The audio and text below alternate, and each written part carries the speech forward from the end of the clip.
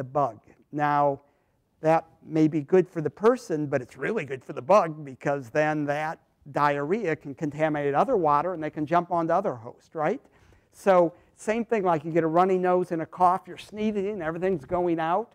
You're clearing it out, but it's really good for the virus because it gets, or TB because it gets distributed.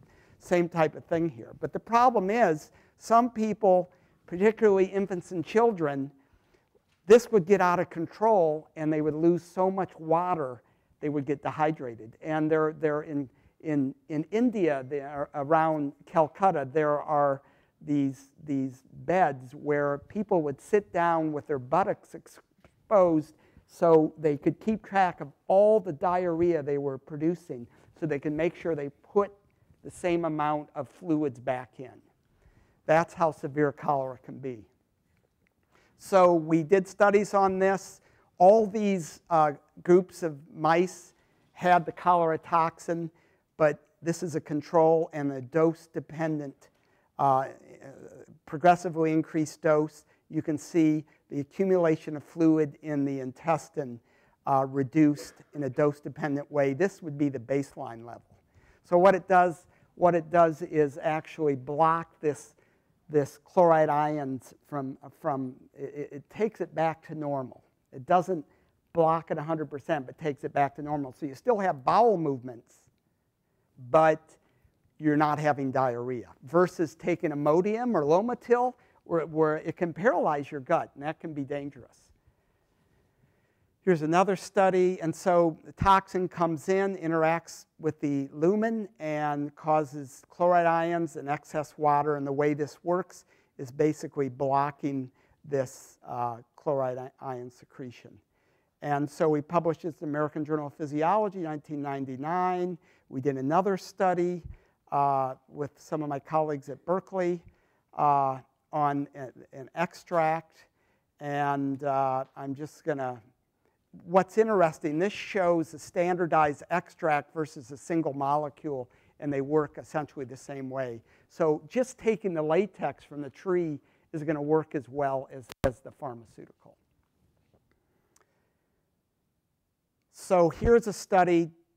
Okay, these were honeymooners coming in from the US and Europe arriving in Jamaica and Mexico, okay? All excited, and so they got to the desk and they were told, Welcome, you're gonna have a great time. But by the way, if you develop diarrhea, you have an option to enroll in our study, and you have a 50% chance of getting the real medicine or the placebo. And this is how we did the study. We had Jamaican and Mexican doctors and nurses conducting this study, and look at the p values. Really dramatic p values at time to last unformed stool at 48 hours. So anything less than 0.05 is considered significant. So this was shown, and also a reduction of abdominal pain and urgency. DuPont is one of the authors. He's, he's down in Texas. He calls himself Dr. Diarrhea, and he's, he's, he's amazing. So this was done really well. Abdominal pain urgency reduced.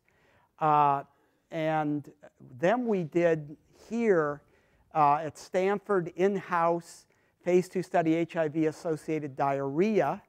And with this, we had all these patients in-house, 51, 25 placebo, 26 study, and you compare everything that went in and went out was measured and and because uh, they were uh, in, in the hospital. And you can see the placebo versus the treatment. And this is a reflection of the stool weight. And the stool weight being much lower in the treatment is because there wasn't as much chloride ions and fluid coming out.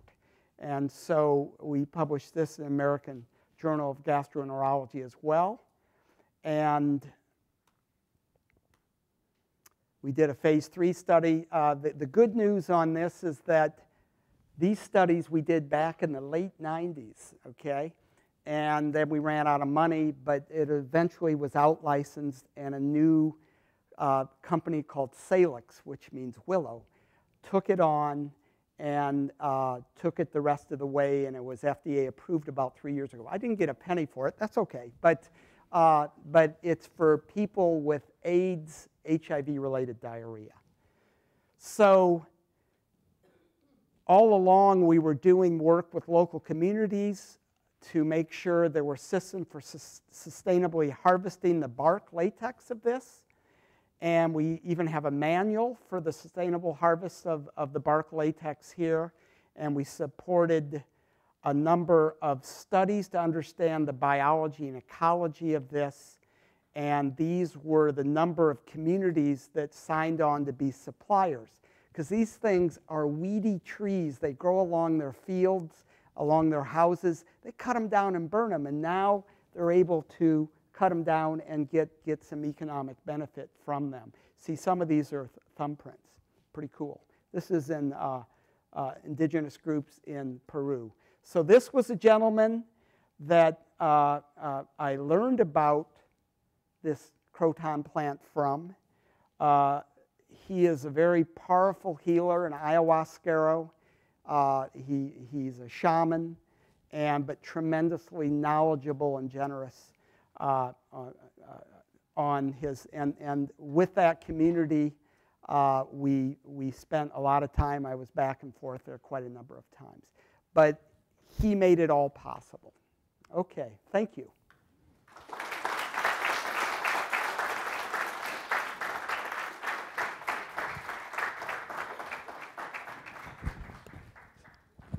The use of botanical medicines, there, it seems like there's a lot of promise both in the field of antibiotic resistance and using plants that um, don't have the same issues with antibiotic resistance, and that being a growing issue in healthcare. Um, and also the use of botanical medicines. You talked about um, traditional healers being the first line of medicine in the majority of the world's population.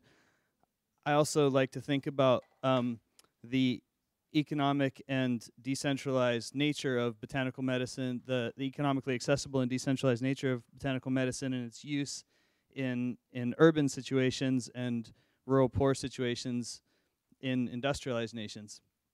And um, so I'm curious both in, in the use of antibiotic, the use of botanical medicines for antibiotic resistance as well as for, for economic um, access, what do you feel like are some pathways or, or some barriers to, to overcome to help those uh, branches occur?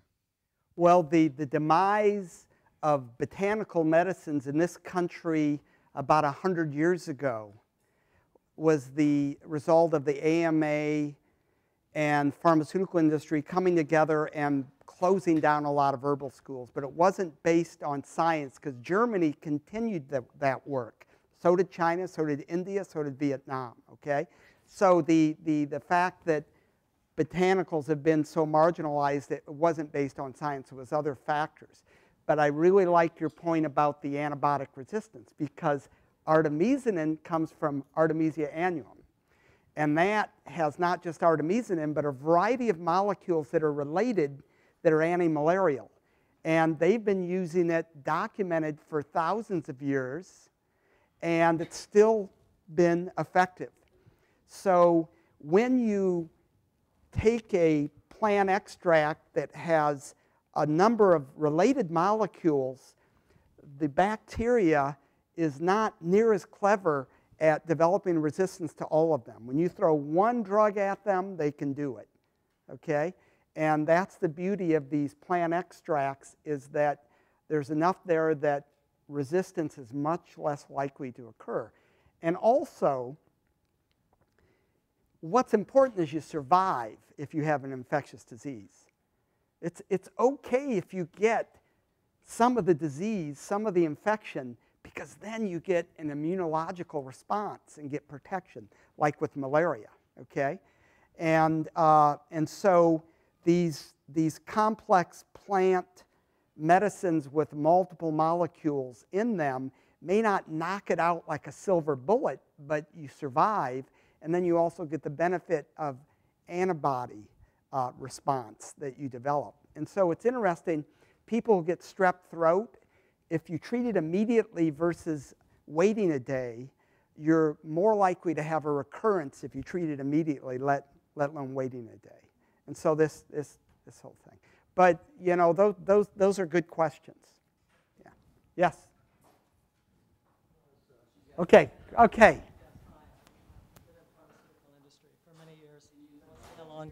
I've been in the pharmaceutical industry for many years. I won't say how long, but um, I was aware of Shaman Pharmaceuticals in the 90s. And um, so, uh, relative to that, I know that part of the reason that they kind of didn't bring anything to market is the prohibitive cost of developing drugs and doing the, the kind of randomized clinical studies that are necessary, which it's something on the order of $50 million in general to bring a drug to market. And I've done a lot of my own research um, in the literature on uh, herbal and botanical approaches to optimizing health and treating disease. I use a lot myself, actually, every day. Um, but I know one of the limitations is that there isn't like a regulatory pathway for um, these, uh, these herbals or some kind of regulatory mechanism by which saying that, okay, this is not a, an approved drug, but we recognize that there are uh, sufficient studies in the literature indicating benefic- you know, um, physiological benefits or, or, for this kind of indications or structure function claim. Yeah, so so that that in, other, in so in order to make these these um, these herbals and botanicals more readily available to the public and giving some kind of regulatory sanction, it seems to me like developing a regulatory through the FDA developing a regulatory mechanism for um, at least you know some oversight and, and reviewing the literature to provide some level of um, gradation about the level of evidence that's, that exists for their, their uh, benefit in treating these conditions. I'm wondering if you could speak to that and if you have any experience or, or ideas about yeah. how to bring that about. Well, with, with herbals, I think that uh, uh, number one, there, there are a number of botanical medicine people who would have offered to provide that service to the FDA, and they didn't really take the bait on that. Okay, well, it's not even bait; it's just an offer, right? And uh, uh, so, I personally think that herbal medicine should be more carefully regulated by knowledgeable people. Okay, there is a problem because you got a cash register ringing, okay? And, uh, and it doesn't matter how groovy a product is, once the cash register is ringing, you can get distortions that come in. And there have been documented cases of looking at extracts of ginseng and analyzing those and finding uh, a low percentage where actually even had ginseng in it. And so uh, I think that things need to be better regulated and also having botanical collections, voucher collections for each collection they have of these. But what's even cooler, though, is when you go into a Chinese medicine dispensary in Oakland or San Francisco, the raw herbs are there. I mean, when we go buy food at the market, we go to Andronico's or wherever we go, eh, it's broccoli. There's no ifs or buts. It's broccoli. It's either organic or conventional. We're looking at it. Okay? Uh, carrots, we're looking at. We're not getting a, a capsule with ground up carrot. At least I hope you're not. You know, hope, hope, but some people are kind of moving that direction.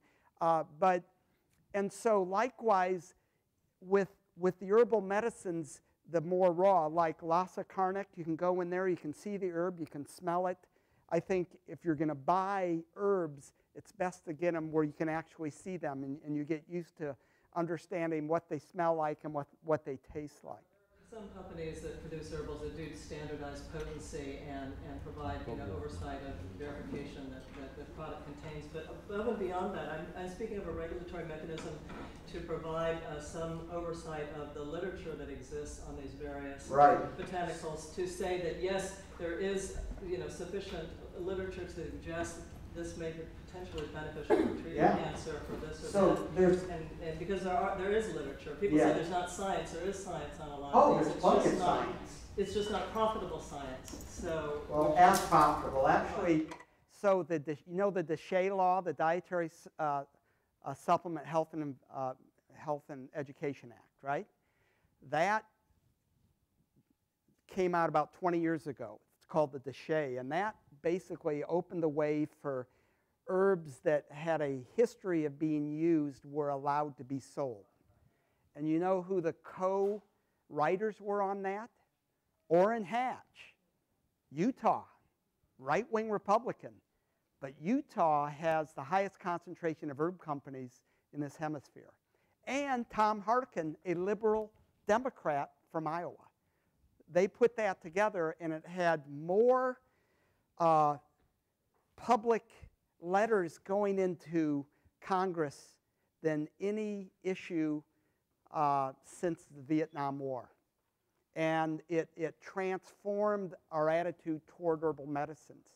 And, and, and it led to the NIH having the Office of Complementary and Alternative Medicine and, and all these things. But I think there's still a lack of a link with, with more botanists being involved with it, so you, you, you, have it. Right. Um, so I'm a, I'm a gardener and chef, and my interest lies mostly in the effects of foods and drugs on personality and mood, and um, and the psychological parts of, of food. So, and there seems to be an intimate connection in these indigenous groups with the shamans, the healers, working with people with their mental and physical health at the same time. I would like to hear your thoughts about if, if that if they should be coupled or they should be broken apart like we've done in our Western society. And then uh, kind of a follow-up question. Um, is there anything, there's kind of a movement right now of returning to wild foods um, because we think that in our, in our um, conventional food system we've bred out a lot of things that we may be missing in foods that we are not sure they do things for us, but we're not sure what they are and haven't identified them, the phytochemical, phytochemical kind of things. And I'd like to hear your comments on both those. Okay.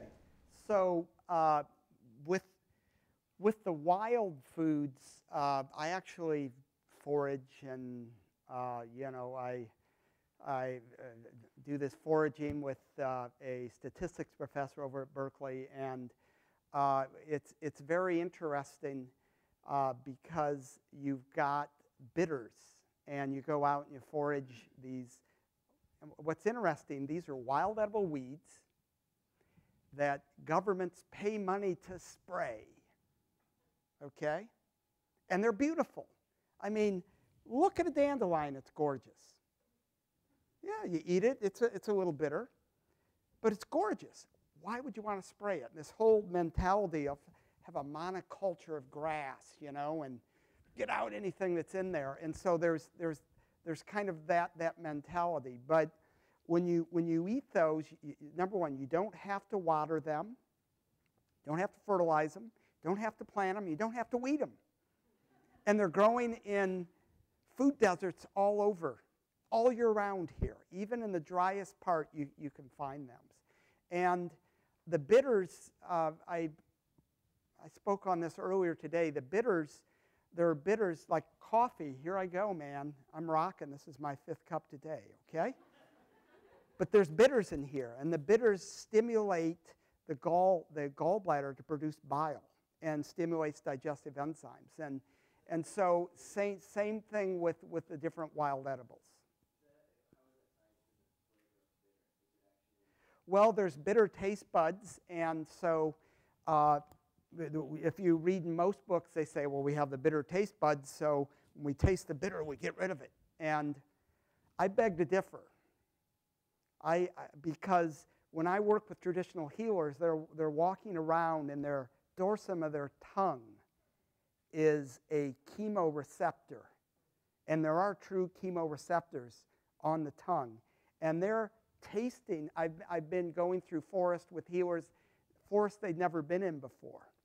And they're going through and they're tasting, and from the dorsum of the tongue, they can have ideas of how it might be useful as a medicine, and that includes the bitters. Now, the highest concentration of the uh, genes that allow us to detect bitters are in sub-Saharan Africa, which I might add is also the, where malaria started and many of the bitter herbs, okay, quinine is bitter, artemisinin is bitter. Those are both anti-malarial pharmaceuticals. But bitters are really, really important uh, to stimulate digestion, to uh, uh, good for the liver. And, and you know, when I say bitter, there, there's data on coffee that people who are heavy drinkers is actually protective against developing liver cirrhosis. I'm not saying it'll prevent it, but it actually has a, had a protective effect. And I think other bitters do, do something similar like that. And so uh, I believe walking around in forest, you use the bitter taste buds to detect bitters that can have health benefits. You might also detect something that, no, I'm, I'm going to stay away from that. But uh, uh, then getting back to the, you know, the mood uh, enhancing foods and so forth. So, you know, if you're talking about ayahuasca, strong psychedelics, hallucinogens used for important shamanic, that's, that's one end of the spectrum. But then you're talking about comfort foods, foods that give people part of a cultural identity, even Theobroma cacao, chocolate. Theobroma, food of the gods. It's, it, it has subtle, subtle uh, effects on mood and so forth. I mean, wh why is it the symbol for Valentine's Day? It's, it's no accident. Montezuma would drink liters of it, mix it with, with the. And so uh, I think there can be the psychological benefits of the identity that people have with foods and the way they're prepared and, and all the cultural things. But then there are phytochemicals in there that also can have subtle CNS effects, and the herbs and spices in particular. I mean, you know, I've walked out of, you know, Indian restaurants feeling a buzz from, from the spices, right? And but, but not something where I'm inebriated, but there, there's something going on there that's really subtle.